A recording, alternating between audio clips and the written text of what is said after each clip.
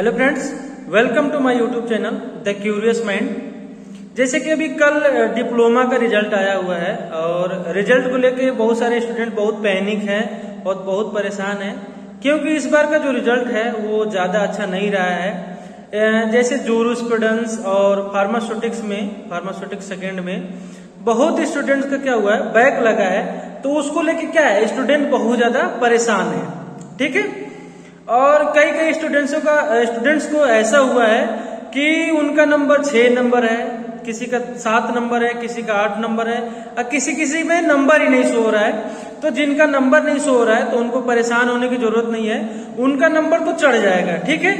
लेकिन जिनका अगर सात नंबर आठ नंबर चढ़ा है तो देखिए, ये बीटी की गलती है। इसमें क्या होता है कई बार नंबर वहाँ अपलोड करते हैं, नंबर जो है वो लगा रहे हैं इकहत्तर नंबर क्या जैसे अठहत्तर नंबर, अठारह नंबर, या फिर अगर बात करें तो सत्रह नंबर तो उसमें क्या होता है, एक डिजिट बाई मिस्टेक इधर उधर हो जाने की वजह से एक ही डिजिट चढ़ पाता है, जिसकी वजह से क्या होता है, सात नंबर, आठ नंबर, क्या होता है, नंबर शो होता है, ठीक है? तो इस चीज़ को लेके आप ज़्यादा परेशान ना हो। वो अगर करेक्शन की डेट आ रही है तो करेक्शन होके वो सही होके ज़रूर आएगा रिज़ल्ट दूसरी बात, अगर किसी स्टूडेंट का तीन से ज़्यादा बैक है या तीन बैक है तो उसको फेल माना जा रहा है। और अगर किसी का दो बैक है तो क्या है, उसको लिखा गया है परमोटेड बाई जिस सब्जेक्ट में उसका बैक है, उसका बैक का सब्जेक्ट कोड लिखा हुआ है, ठीक है? तो जिनका दो बैक है, वो समझिए अगले नेक्स्ट ईयर के लिए प्रमोटेड है, या फिर उनको क्या है जैसे फ़र्स्ट ईयर की बात किया जाए तो फ़र्स्ट ईयर में अगर जिनका दो बैक है तो क्या है सेकेंड ईयर में प्रमोट हो जाएँगे। लेकिन अगर सेकेंड ईयर की बैक आ रही है तो उनके लिए दिक्कत की घड़ी है, परेशानी की भी घड़ी है, और परेशान भी है, क्योंकि वो सेकेंड ईयर के बाद या तो उनको बैक पेपर देना पड़ेगा, या फिर उनको रीचेक कराना पड़ेगा तो इसको लेकर परेशान है। अब हम एक एक करके देखेंगे रीचेक करेक्शन रिवेल्युएशन ये क्या करेंगे बच्चों को? कि तीनों में से क्या करना है? तो सबसे पहले देखें, अभी जिनका नंबर नहीं चढ़ा है तो उनका करेक्शन होगा तो उनका नंबर चढ़ जाएगा। और जिनका नंबर सात, आठ, नौ, दस दिखा रहा है तो मे भी उनका भी हो सकता है, किसी का अठारह की जगह आठ आ गया है। किसी का अट्ठाईस के जगह आठ आ गया है, किसी का अड़तीस के जगह आठ आ गया है, किसी का सैंतीस के जगह सात आ गया है तो मे भी वो भी क्या होगा करेक्शन की जगह सही हो जाएगा।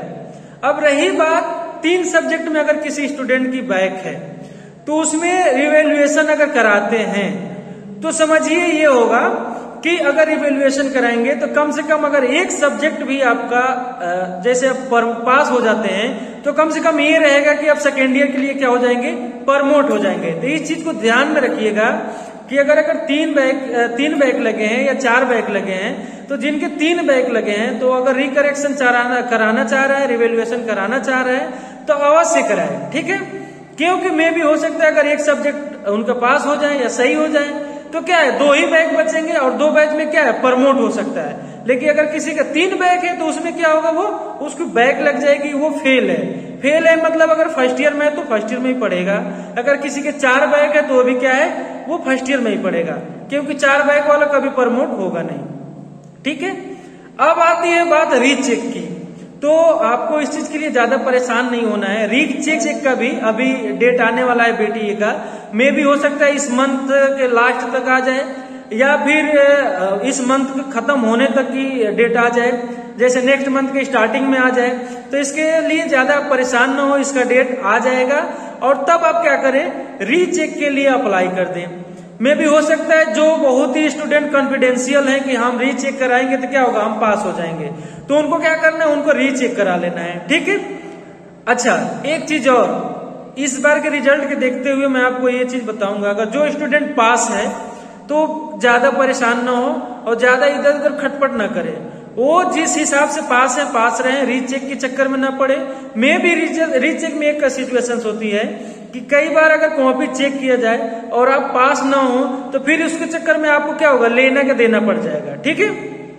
तो आपको क्या करना है? रीचेक भी उसी स्टूडेंट को कराना है जिसको लग रहा है कि वो पास हो जाएगा।